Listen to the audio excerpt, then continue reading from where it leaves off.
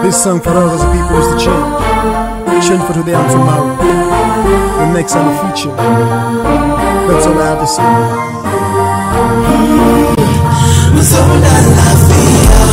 Mm -hmm.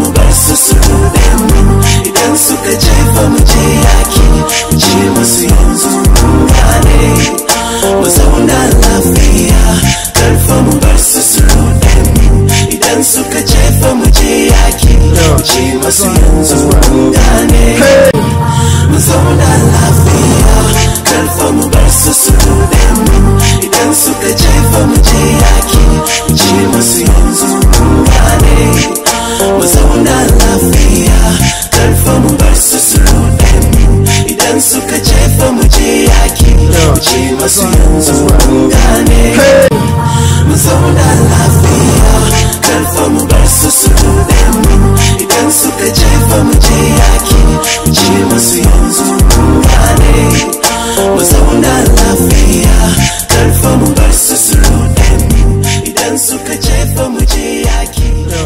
Paciencia.